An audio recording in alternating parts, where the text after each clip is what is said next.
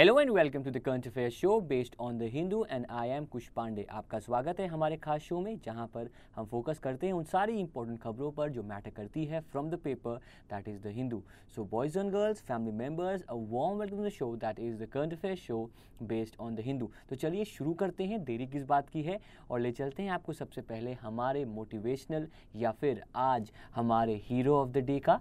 Well ही उनका birthday था कुछ दिन पहले he had his birthday uh, some days back. And who else but one of the greatest captains of the Indian cricket team, M S Dhoni आइए उनकी बात करते हैं he is the hero of the day guys so let's have them let's have him on the screen guys and ये रहा आपके सामने everything becomes possible in your life when you take responsibility for everything that happens you are the hero in the story and nobody mind you nobody is coming to save you तो आप हर कोई अपनी life का hero है, चाहे वो M S Dhoni हो, चाहे वो कुश पांडे हो, या चाहे वो कोई भी एस्पायरेंट हो जो शो को यहाँ पर देख रहा है। तो चलिए वापस स्क्रीन पे आते हैं guys so we've covered the the hero of the day guys and he is the great M S Dhoni. तो चलिए शुरू करते हैं, पर आगे बढ़ने से पहले आगे बढ़ने से पहले मैं आप सबसे फिर से रिक्वेस्ट करूँगा कि after the show we will upload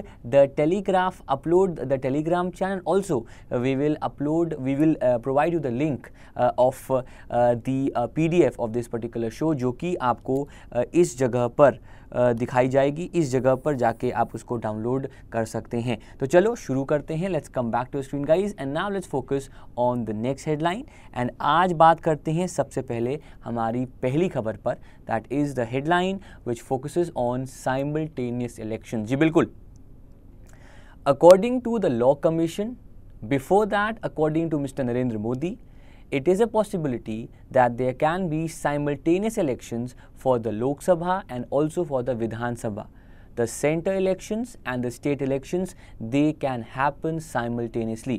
ऐसा मैं नहीं कह रहा, ऐसा लॉ कमीशन कह रहा है एंड साथ ही साथ it has been endorsed initially by the prime minister and the Bharatiya Janata party no guys this is not a very important headline for current affairs but specially for reading comprehension specially for your interviews it will play a big big role so दोस्तों, यहाँ पर जो मुद्दे की बात है, वो यहाँ पर ये है कि लॉ कमीशन ने कंसल्ट किया है with the parties and they want the parties to decide whether they want a simultaneous election or not. यहाँ पर करीब नाइन ऐसी पार्टीज़ हैं जिन्होंने इसको अपोज किया है। They have clearly oppose the elections once and for all उनका मानना है कि इलेक्शंस जो हों वो अलग अलग हों, विधानसभा के अलग हों एंड जो लोकसभा है उसके इलेक्शन जो हों वो यहाँ पर अलग हों। Now guys apart from this the law commission chairman B S Chauhan has said that it will that they will meet every political party every big political party and decide whether this law this this uh, idea should be processed or not क्या इसको आगे बढ़ाया जाए या ना बढ़ाया जाए इसको लेकर उन्होंने यहाँ पर बात की है तो चलिए दिखाते हैं आपको इसी का the Hindu and static shorts जो कि ये रहा आपके सामने मेरे को हटा दिया जाए political parties were divided on the issue of holding simultaneous elections for Lok Sabha and also for the Vidhan Sabha elections और ऐसा uh, कोशिश कर रहा है law commission there are nine party जो कि इसको यहाँ पर अपोज कर रही हैं. तो दोस्तों ये एक अहम मुद्दा है जरा वापस स्क्रीन पे आ जाए. एंड अब आप मुझे बताएँ कमेंट सेक्शन में what do you feel do you feel elections should happen simultaneously क्या आप चाहते हैं कि जो इलेक्शंस हों वो uh, विधानसभा में भी हों और लोकसभा में एक साथ हों? और अगर ना हो तो लिख दीजिए कि whether do you do you want elections to take place simultaneously और आप चाहते हैं कि नहीं भाई इलेक्शंस जो हों वो अलग अलग हों। Uh, विधानसभा का अलग एंड लोकसभा का अलग। बिल्कुल uh, ऋचा कश्यप जी हम कल की भी जो इम्पोर्टेंट खबरें हैं उनको भी आज कवर करेंगे। आपका यहाँ आने का धन्यवाद। तो चलो भाई शुरू करते हैं आगे बढ़ते देखिए यहाँ पर पर मुद्दा सिर्फ़ इतना है कि आपसे इंटरव्यू में या आरसी में सवाल पूछ सकता है अबाउट द साइमल्टेनियस इलेक्शंस तो उसके बारे में अपना एक व्यू बना लीजिएगा. You have to make your own view everyone is saying yes yes it is a good idea that is a good sign for once, everyone in the comment section and me are on the same lines. That is a very good sign. चलो, आगे बढ़ें और बात करें next Now again guys it's something जो कि बहुत ही uh, सोचने की बात है something which should be contemplated something which should not happen but there is a state and that state guys is the state of Tamil Nadu and there is a city in Tamil Nadu which is also the capital that is Chennai.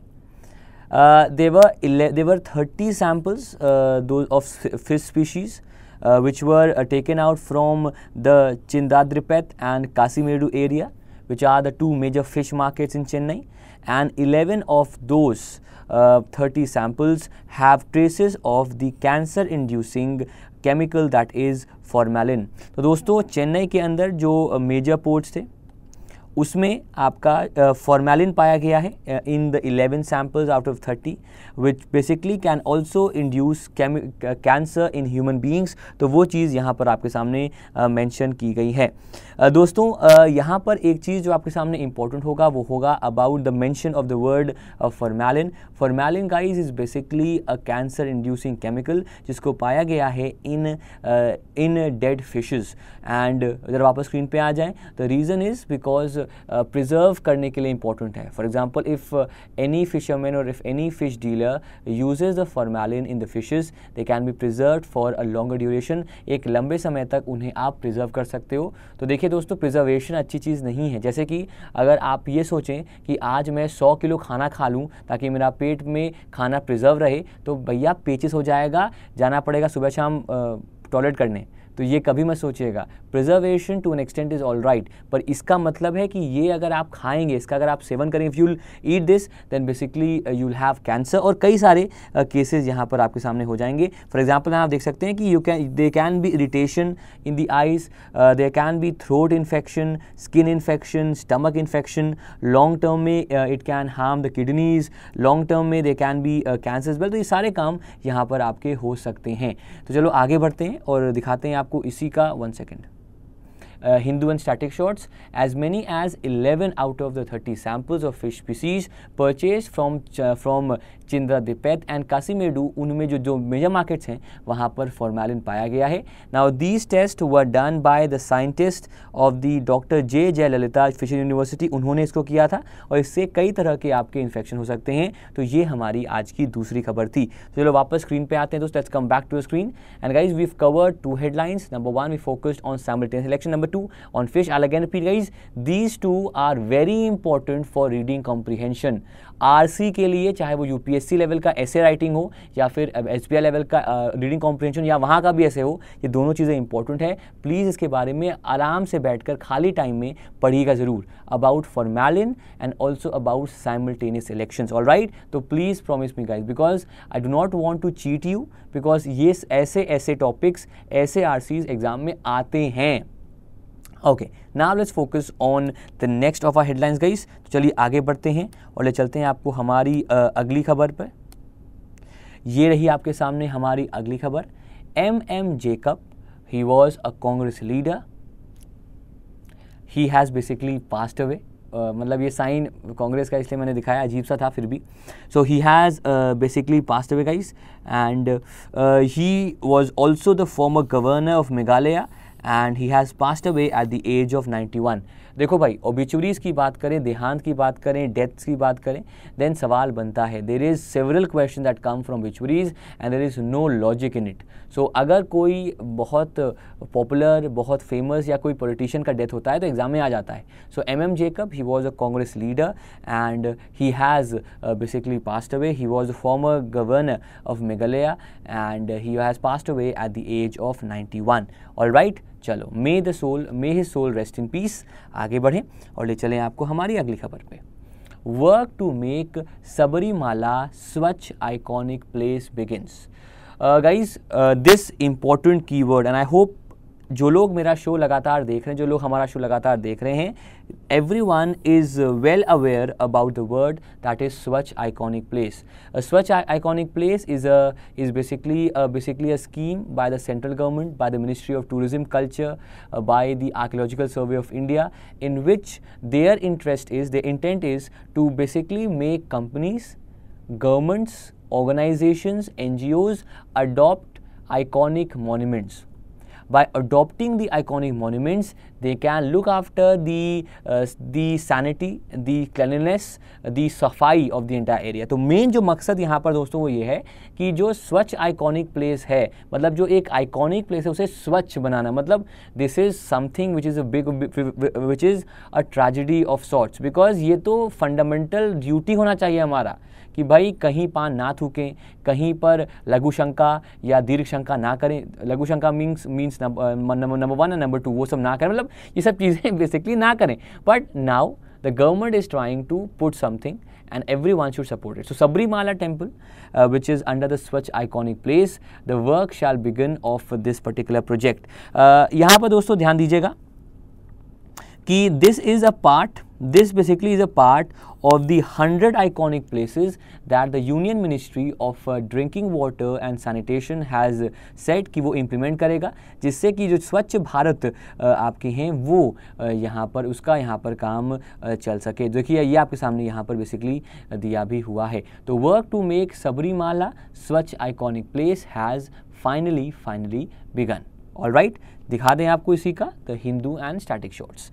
The district administration here has started preliminary preparation for converting Sabarimala into a Swachh iconic place as a part of the Swachh Bharat mission of the union government जो केंद्र सरकार का Swachh Bharat mission का एक सब scheme है that is the Swachh iconic place उसमें सबरीमाला को इंक्लूड किया गया है एंड उसके लिए काम आपका ऑलरेडी यहाँ पर शुरू हो गया है। अगर यहाँ बात करें guys Sabarimala is basically a Hindu pilgrimage centre it is located in the Periyar tiger reserve तो याद रखिएगा सवाल बन सकता है which of the following monuments और temples is in the Periyar tiger reserve the answer will be Sabarimala temple and it is basically in the state of Kerala number two Number 3, it is at a height of 1260 meters which is 4133 feet and भगवान जो वहाँ पर है the shrine is of lord Ayyappan उनकी shrine यहाँ पर है।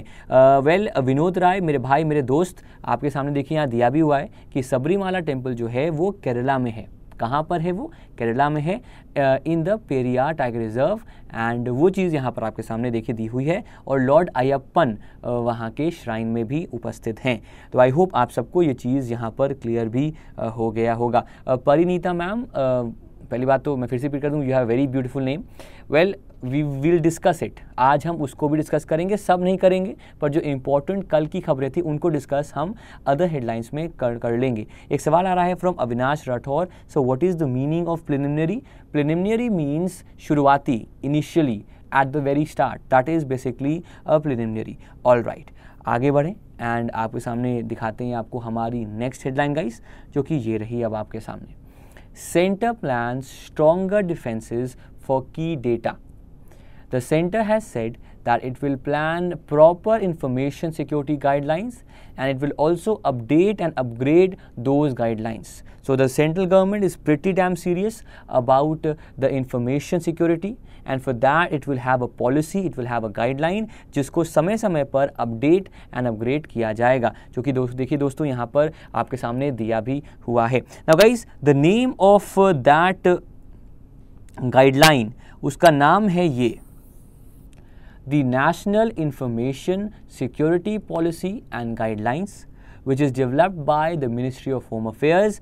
This shall be updated and upgraded. तो इस पर्टिकुलर पॉलिसी को आगे चलकर यहाँ पर काम कराया जाएगा विश्वजीत चौहान कल का पीडीएफ भगवान से पैदा नहीं कर पाऊँगा बिकॉज़ कल संडे था कल छुट्टी थी आपकी भी मेरी भी तो कल का शो हुआ नहीं तो भाई पीडीएफ आज ही मिलेगा okay. So uh, the center plans stronger defenses for key data. The name of those guidelines is NISPG. इसका full form मैं चाहूँगा आप comments में लिख दीजिएगा इसका full form है uh, फुल फॉर्म इसका है the national information security policy and guidelines तो जो आपकी इंफॉर्मेशन है, उसको सिक्योर करने के लिए यहाँ पर ये काम किया गया है।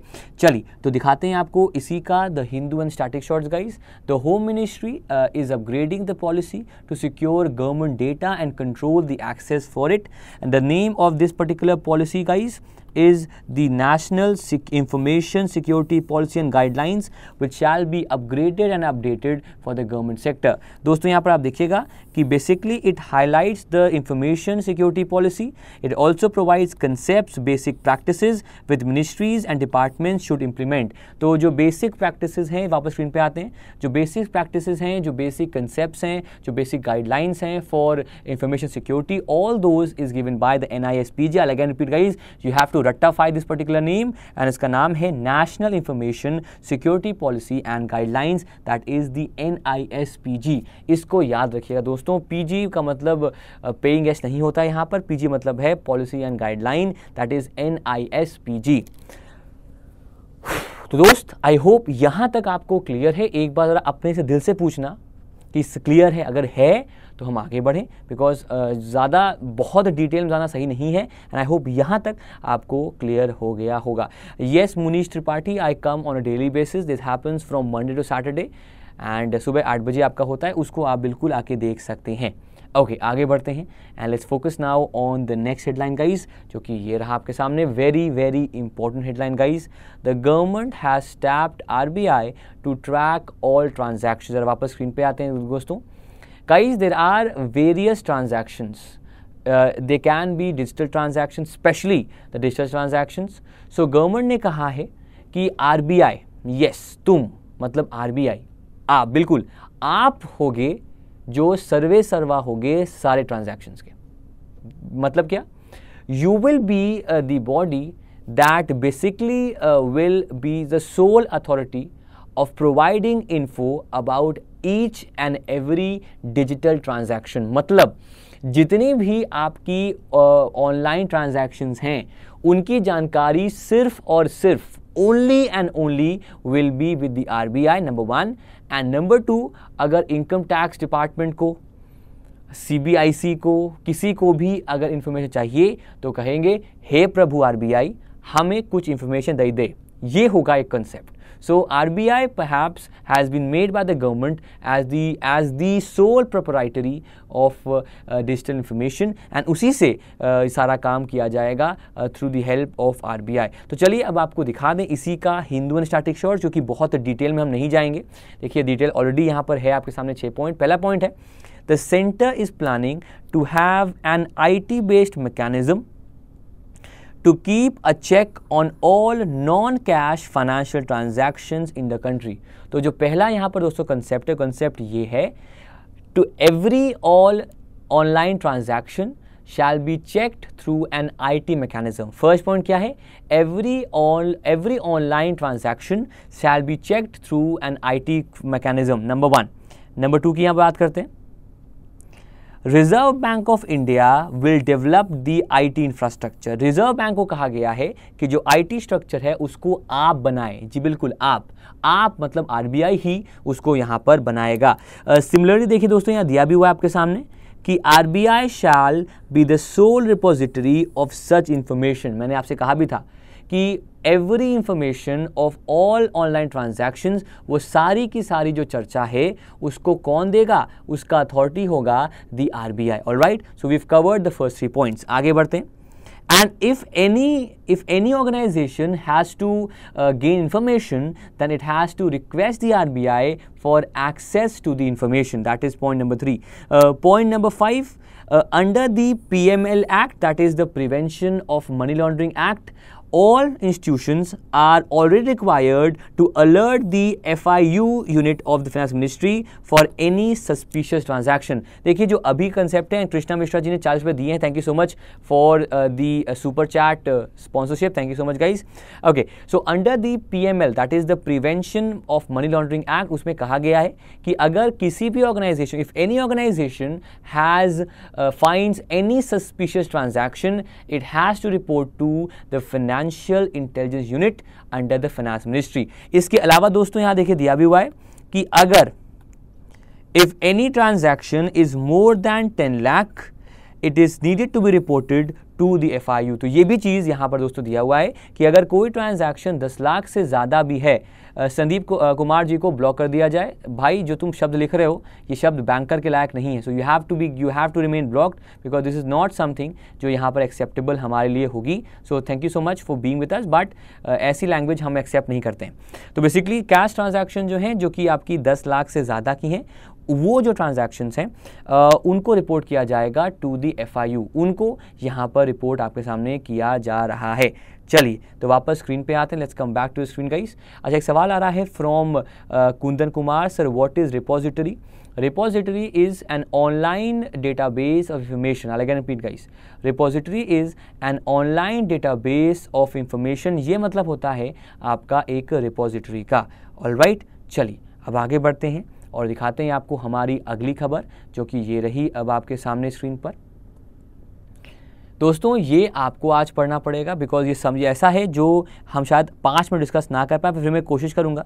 Will focus on currency derivatives currency derivatives देखिए यहाँ दिया भी हुआ है। One second one can use a currency future contract to exchange one currency for another at a future date at a price it is decided on the day of the purchase of the contract तो दोस्तों देखिए यहाँ पर दिया हुआ है यहाँ पर कॉन्ट्रैक्ट का नाम है currency derivative contract now currency derivative contract is a contract in which the seller and buyer will decide that they will uh, that they will use a currency that they will convert a currency to the other at a fixed rate at a fixed time in the future. I'll again repeat, guys. A currency derivative is a contract in which the seller and the buyer will decide that they will convert one currency to another at a fixed date at a fixed rate in the future. I'll again repeat. For example, एक dollar है साठ रुपए का and I said that this is the rate at which we will convert 500 US dollars on 10th of August. So यहाँ पर 10th of August guys is a future date.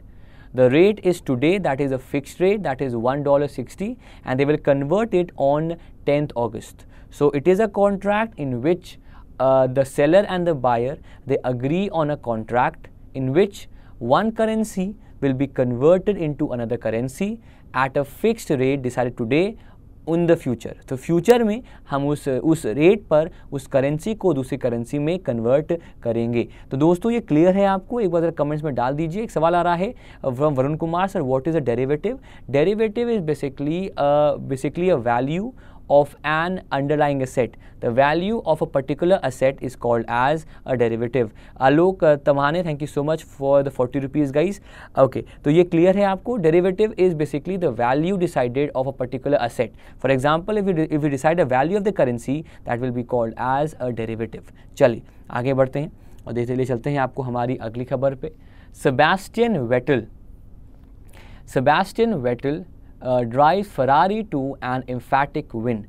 Uh, Sebastian Vettel, uh, who drives the Ferrari uh, in the Formula One Championship, uh, he has uh, he has won the Grand Prix. He has won the British Grand Prix, guys. that is the Silverstone British Grand Prix, and with this. He has a clear lead over the current world champion that is Lewis Hamilton. तो उनके ऊपर इनकी अब clear lead हो गई है and this is also the first ever win of a Ferrari in Britain since 2011 तो बड़ी खबर आ रही दोस्तों कि ब्रिटेन में 2011 के बाद पहली बार पहली बार Ferrari has won a grand prix और राइट जो आप यहाँ पर देख सकते हैं this is also the fifty first win of the career of Sebastian Vettel जो कि स्क्रीन पर भी फ़िलहाल आप देख रहे हैं। In terms of driver standings guys Vettel is at 171 and Hamilton is at 163 तो Sebastian Vettel has basically won the British grand prix he came in first and in terms of the wins Lewis Hamilton came in second overall जो lead है, वो अब वेटल के पास है. He is leading Sebastian he is leading Lewis Lewis Hamilton. If I am correct, Sebastian Vettel is from Germany. If that is all right, if that is correct, एक बार चेक कर लीजिएगा आप लोग. And उन्होंने जीता है the British Grand Prix. चलिए आगे बढ़ते हैं. Let's now focus on our next headline guys जो कि ये रहा Well I hope and also wish मैं उम्मीद भी कर रहा हूँ और सोच भी रहा हूँ कि आप जो में जितने भी लोग हैं वो इस ग्रेट इंडियन वुमन को जानते होंगे well her name is Dipa Karmakar she missed the Rio bronze medal in her category by whisker बहुत ही कम पॉइंट से रियो ओलंपिक्स में ये ब्रॉन्ज मेडल से से चूक गई थी. And then she had a very freak accident she freak injury and वो काफ़ी समय से बाहर थी. But now she has again came she has again made made made a come back and she has won the gold medal दोस्तों, यहाँ पर देखिए, एक बार ज़रा आपको दिखा भी दूँ. She has won the women's gold medal and claimed fourth place in the balance beam in the Mersin World Challenge Cup जो कि मर्सिन में हो रहा है. And she has won the gold medal in the women's world and fourth place in the balance beam and this is something to be proud and she is a good contender for winning the gold medal in the Asian games तो Dipa Karmarkar, Deepa Karamkar she has won the gold medal in the women's vault and fourth place in the balance beam and she is a good contender a great contender for winning the gold medal in uh, the asian games world championship. All right तो इनकी बारे में देख लीजिए सवाल यहाँ बनेगा दो। सवाल यहाँ पहला बनेगा कि who has won the gold medal in the women's category of world in the in the Mersin world challenge cup the answer is Dipa Karmakar and Dipa Karmakar is related to the world of gymnastic उनसे उनसे इसका एक संबंध है। आगे बढ़ते हैं दोस्तों। देन ये बहुत बड़ी खबर तो नहीं है और ये मैंने जानबूझ के रखी because it is a very interesting headline guys and ये ऐसी खबर है जो एग्ज़ाम में तो नहीं आने वाली कंफर्म पर ये मज़ा करने वाली मतलब एक स्माइल आने वाली खबर है। एक लिदुआनियन कपल है दोस्तों। ऑल राइट एंड उन्होंने जीता है वर्ल्ड वाइफ कैरिंग चैम्पियनशिप मतलब जो वाइफ कैरिंग चैम्पियनशिप होती है वर्ल्ड वाइड उसमें जीता है। इसमें करीब 53 कपल्स ने पार्टिसिपेट किया। 13 कंट्रीज़ इसका मेंबर थी। And they have won the gold medal in this particular championship and तेईसवें साल में आपका ये हो रहा है। ये आपका चैम्पियनशिप एंड यहाँ पर वाइफ को पीछे बैठाकर चलने का कंपटीशन है, जिसमें कि कपल बा, इनाम अजीब सा है व्या तातुस एंड नेरिंगा। इन्होंने इस चैम्पियनशिप को जीता है एंड uh, ये यहाँ पर आपकी खबर है। तो बहुत बड़ी खबर तो नहीं है तो आगे बढ़ते हैं चलिए। Let's now focus on the next headline guys let's now focus on yesterday's headlines along with the case study so I hope everyone is now already and all set तो चलो भाई शुरू करते हैं। और हाँ हम भी करेंगे। राकेश सिंह भंडारी जी शौक तो नहीं है पर बिल्कुल आप कह रहे हैं तो बिल्कुल करेंगे। चलिए आगे बढ़ें।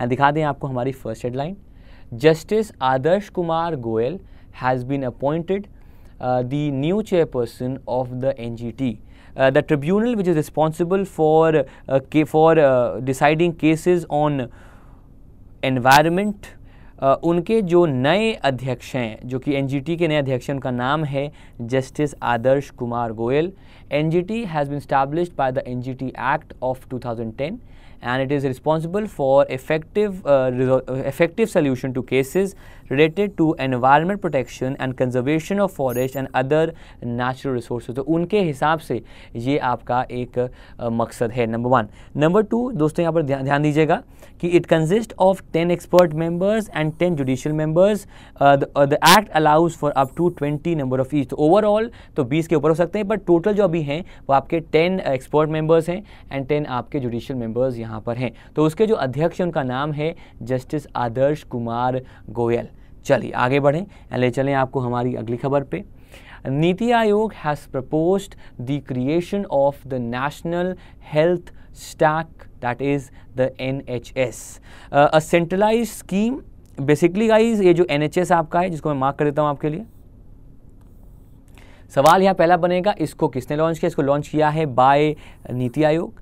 बेसिकली है क्या? It is a health record for all citizens of the country in order to streamline the health information and facilitate effective management of the same. तो अगर ये लॉन्च होता है ये क्रिएट होता है तो बेसिकली ये नेशन वाइड हेल्थ रिकॉर्ड होगा which will basically provide information about health, about facilities, about the uh, effective management. उसकी ये basically आपको जानकारी देगा and it will use technologies like big data, like AI and everything else जिससे कि इसको काम किया जाएगा और जो एक health sector है उसमें improvement यहाँ पर किया जाएगा तो NITI Aayog has basically proposed the creation of a national health stack uh, that is the NHS, which is basically a health record for all citizens of the country to streamline the health health information and facilitate effective management of the same. उसके लिए यहाँ पर ये concept किया गया है। और right चलिए तो अब आगे बढ़ें और ले चलें आपको हमारी अगली खबर पे guys the airports authority of India that is the double A I बिल्कुल, जो एयरपोर्ट अथॉरिटी ऑफ़ इंडिया है, जिसका नाम डबल ए आई है, वो सेटअप करेगा सिविल एविएशन रिसर्च ऑर्गेनाइजेशन जो कि आपका वो हैदराबाद में यहाँ पर सेटअप करेगा। It will setup the technology in Hyderabad and ये आपका बेगम पेट एयरपोर्ट पे सेटअप होगा। इसके लिए करीब 1200 करोड़ रुपए को लगाया गया है and it will focus on improving the civil aviation sector तो बहुत ही सिंपल सी खबर दोस्तों है कि double A I it will setup setup an airport call as the Begumpet airport it has earmarked rupees twelve hundred crore for it number two and number three civil aviation sector उसमें जो उस उस पर ये focus आपका basically uh, करने वाला है। ऑल राइट right, तो चलिए आई होप ये आपको क्लियर हो गया होगा। ओके okay, चलिए तो आगे बढ़ते हैं और दिखाते हैं आपको हमारी अगली खबर जो कि ये रही दोस्तों। इंटरनेशनल डे ऑफ़ कोऑपरेटिव्स जो अंतर्राष्ट्रीय दिवस है कोऑपरेटिव्स का उसको मनाया जा रहा है जुलाई सेवन को। That is the day on which uh, the International Cooperative Day is celebrated. It is observed uh, ev on every year on the first Saturday of July and इस बार का जो थीम है that is sustainable societies through cooperation वो इस बार का theme को रखा गया है।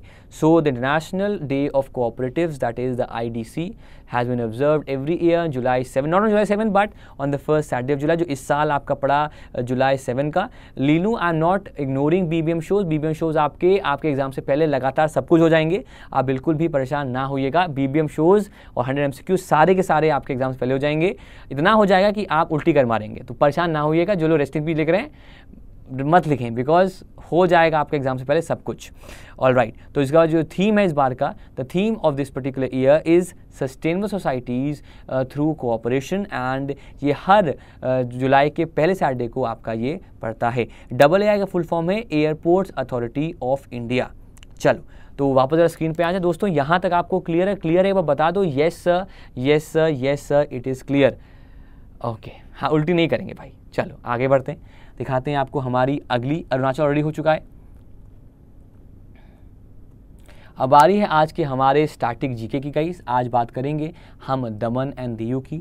हम ऑलरेडी ए बी कर चुके हैं। सी में चंडीगढ़ बचा। चंडीगढ़ तो एक आपका बहुत ही कैपिटल हो गया। तो अब बात करते हैं अब हम दमन एंड दीयू की दोस्तों।